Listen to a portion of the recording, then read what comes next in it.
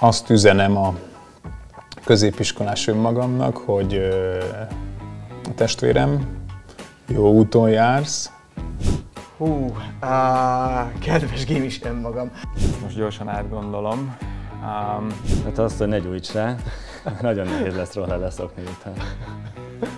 Talán azt üzenném neki, hogy tanulj angolul, mert az nagyon fontos szerintem. Hát leginkább azt üzenném magamnak, hogy, hogy tanuljak meg rendesen angolul, mert hogy akkor ott lett volna lehetőségem, csak az angol tanára való viszonyom az ezt fölülírta, és egy idő után le kellett adnom az angol nyelvet. azért tarts ki amellett, hogy a matekot is tanuld, mert eh, el fogod végezni a közgázegyetemet attól függetlenül, hogy családi nyomásra is eh, a jogon kezded el az életed. semmi sem végleges, csak válasz valamit, aztán úgyis, úgyis jönnek a dolgok. tanulj, mert ez, ami itt van, az egyetlen, amit nem tudnak elvenni tőled. Higgy magadba, hallgass a szívedre, tarts ki, és minden aztán jön magától.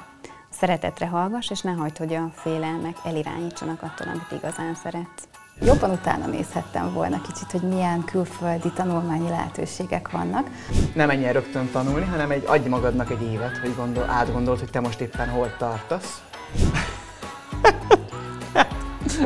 Azt, hogy ne, ne Pascal programoz, mert az egy, az egy szörnyű nyelv, C. Sokkal jobb. Egyébként semmi más, minden más az oké, és csináld úgy egyedül. Hogy igen, éljek meg minden pillanatot, és a, és a közösségi életet nagyon-nagyon erőteljesen próbáljam kimaxolni. és nem kell leragadni egy saj mellett a gimnazista éveidben, mert lesz rá lehetőséged később is, hogy családot alapíts. Ne gondold azt, hogy neked már meg kellene, hogy legyen, hanem csak hagyd az időt, hogy teljen, mert meg lesz a te időd is, és meg fogod azt találni, hogy miben vagy igazán jó, és hogy mi az, amit te szeretsz csinálni. Szóval legyél türelmes önmagaddal.